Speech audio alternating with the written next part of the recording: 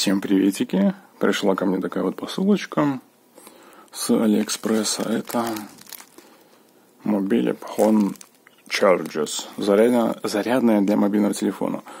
2,36 доллара, но я отдал 4,64, потому что здесь как бы зарядный кабель. И все было по 2 с чем-то доллара. И вместе 2,64.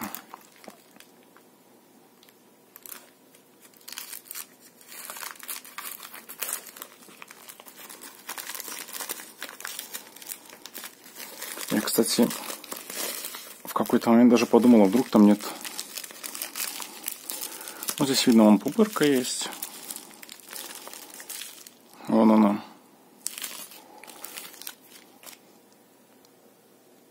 Я, ну, подумал, что мало ли, вдруг раз 2.36 написано, может быть, что-то не положили, но нет, положили все. Здесь вот он адаптер. На нем такая пленочка. Вроде бы новенький, без царапинок. Целенький. Выходит 5 вольт 2 ампера. Самое интересное, если он будет работать лучше, чем тот, который от Югрина за 5 долларов, то это вообще будет жесть. Получается, я зря переплатил Югрину. А скорее всего, так и будет, мне кажется. То есть не стоит всяким Югринам переплачивать. Ну и провод 2 метра я уже взял такой, чтобы уже чтобы можно было подальше от телефона находиться при зарядке. Потом и цена такая тоже 2,5 доллара. Вот он 2 метра, реально 2 метра. Тут по длине видно, что 2 метра. Ну а дальше можно поставить, попробовать, как он работает. Ну, в общем, я подключил. И слышно, без, без нагрузки оно пищит.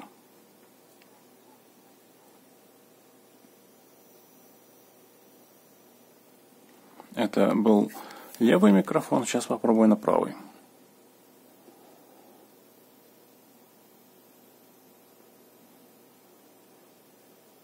Не знаю, слышно ли вам.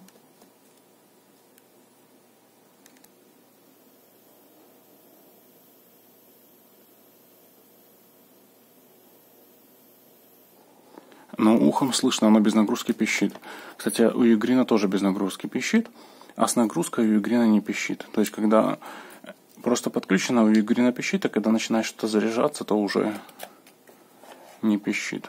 Проверим через э, тестер. 5 вольт выдает.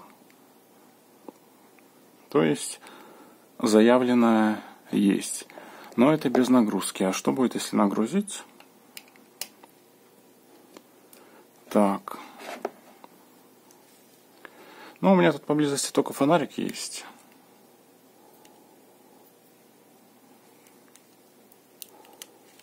Хотя, ну вот, лампочка горит, значит, пошла зарядка.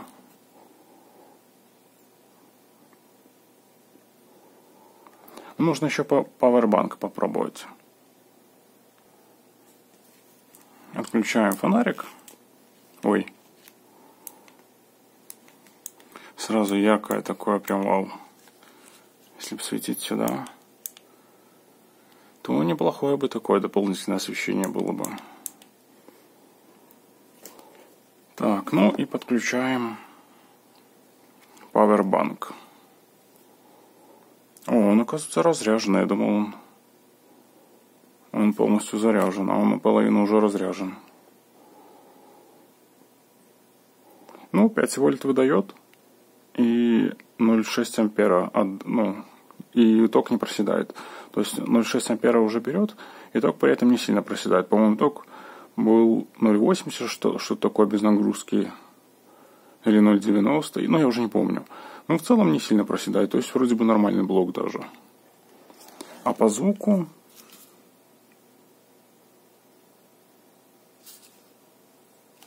Ну, сюда не, не особо слышно, чтобы он пищал или что, при, то есть он пищит именно без нагрузки.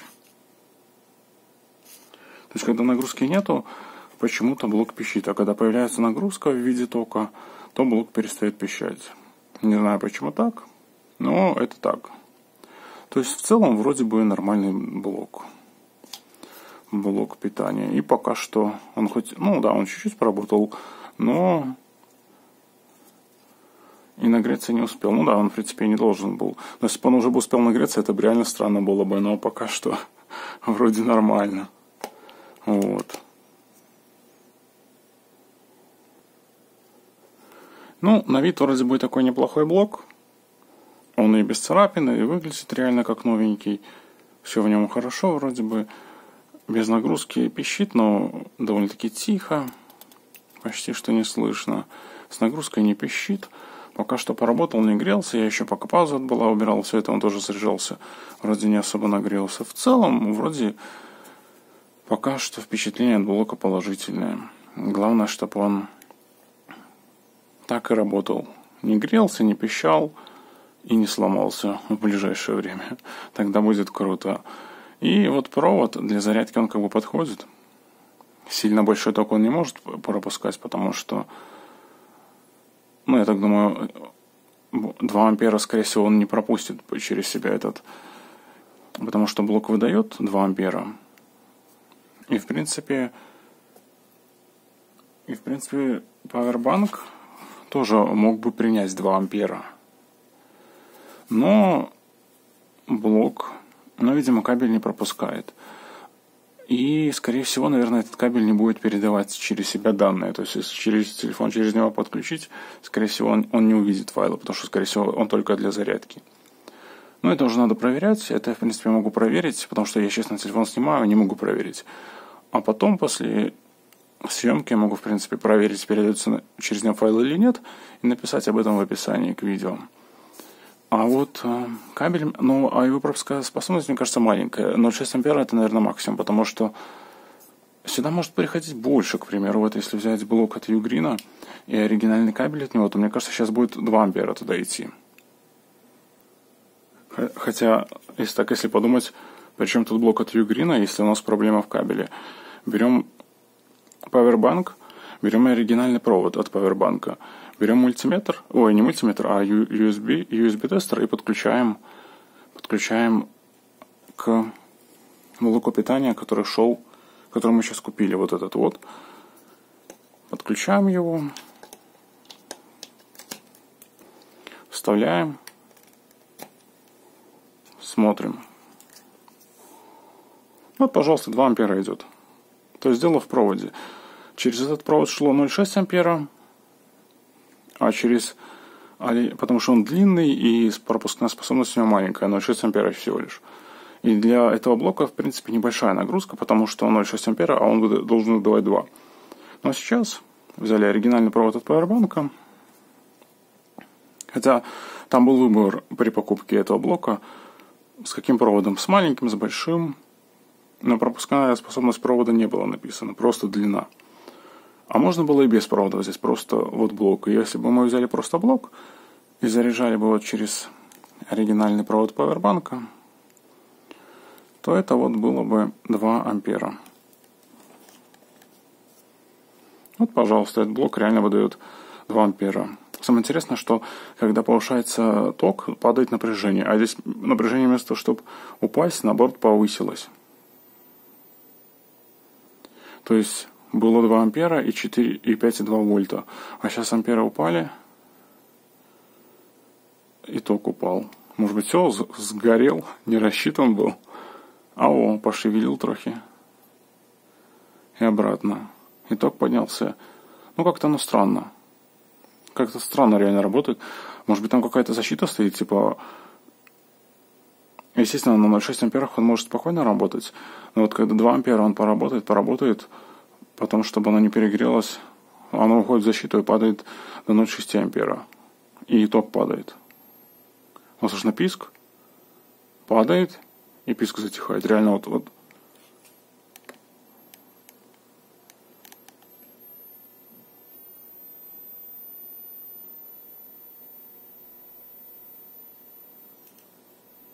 оно же свистит.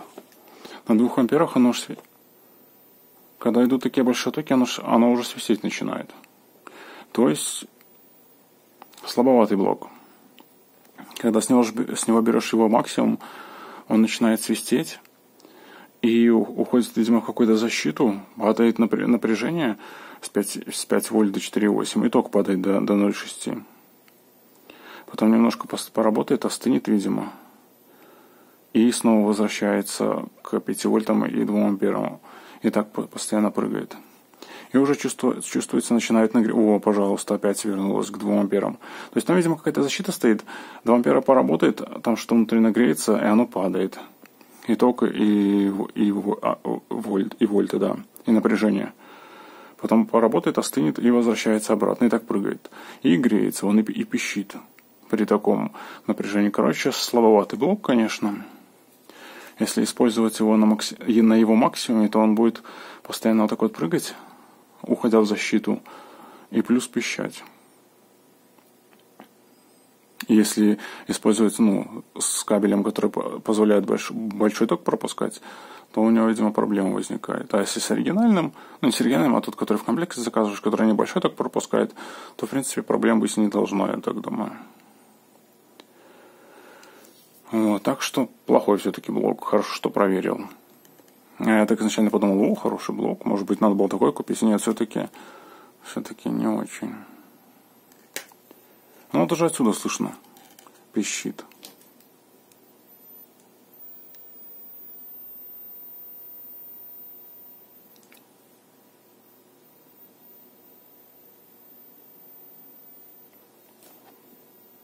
Короче, Блок не очень, но я не для себя покупал. Меня попросили попросили дешевенький блок. Ну, типа, у нас, ну, ну, у нас они стоят там долларов 10, а это, получается, за, за 4,64. Ну, типа, подешевле захотели. Ну, и вот я там нашел какой-то, и вот он, типа, такой.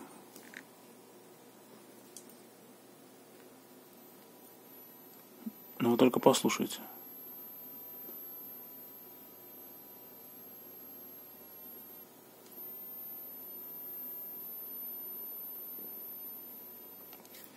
Так неприятно пищит. Писк такой тоненький. Короче, блок не очень. Если и заряжать им, то только через вот этот вот кабель, который в комплекте идет, чтобы чтобы не сгорело ничего. Потому что то, что он постоянно так вот прыгает туда-сюда, это, конечно же, не очень.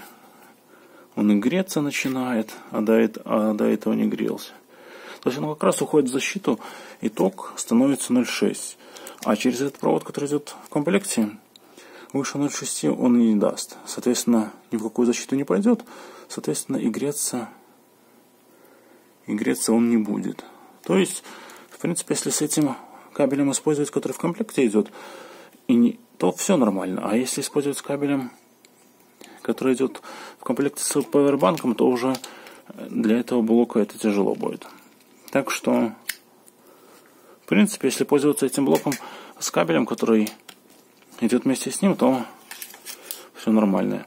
Но заряжаться будет медленно. А если взять кабель, который у которого большая пропускная способность, заряжаться будет быстрее, но и блоку будет напряжно, он будет и пищать, и греться. Вот. Короче, блок не очень. Вот. Такие дела. Ну, на этом все. Всем покедово.